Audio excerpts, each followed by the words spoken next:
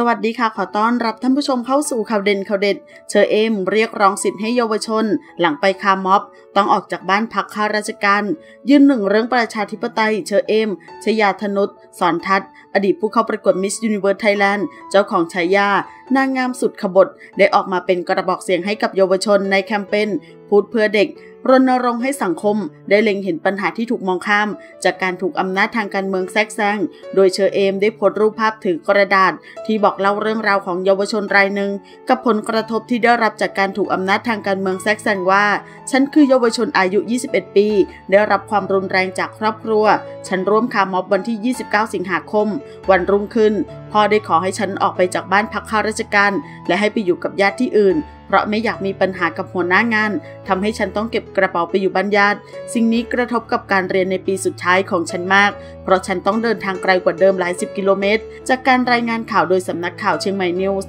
นอกจากนี้เฌอเอมยังได้เขียนแคปชั่นกล่าวเสริมว่า เอมได้ร่วมกับ Amnesty Thailand บอกเล่าเรื่องราวของเยาวชน และคนรุ่นใหม่ในแคมเปญ Hashtag พูดเพื่อเด็ก มาจากแนวคิดที่ว่า เมื่อเด็กหรือคนอายุน้อยกว่าออกมาเคลื่อนไหว เรียกร้อง ก็มักจะถูกมองข้ามอยู่เสมอ เพราะสังคมมีความเชื่อว่าเด็กต้องเงียบ และตั้งใจเรียนเป็นที่หนึ่งแต่วันนี้เยาวชนของเราพิสูจน์แล้วว่า พวกเขาสามารถเรียนรู้และเคลื่อนไหวทั้งในและนอกห้องเรียนไปพร้อมๆกัน กลายเป็นว่าการปิดกั้นพวกเขาเสียอีกที่สร้างผลกระทบต่อชีวิตของเด็กๆ พวกเราจึงอยากรณรงค์ ให้สังคมได้เห็นปัญหาที่เกิดจากการถูกมองข้าม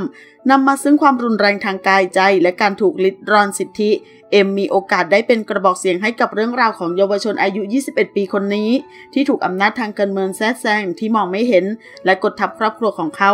อำนาจพวกนี้มีอยู่ทุกที่ และมันทำให้เราต้องเลือกระหว่างสิ่งสำคัญต่างๆ อย่างเสมอ เอ็มชื่นชมในความกล้าหาญของเยาวชนทุกคนที่ตัดสินใจเลือกเสมอ มาเป็นกำลังใจให้กับเด็กๆ และคนรุ่นใหม่ของสังคมเราในแคมเปญ พูดเพื่อเด็กกันนะคะ ขอขอบคุณข้อมูลจากข่าวสดขอบคุณค่ะ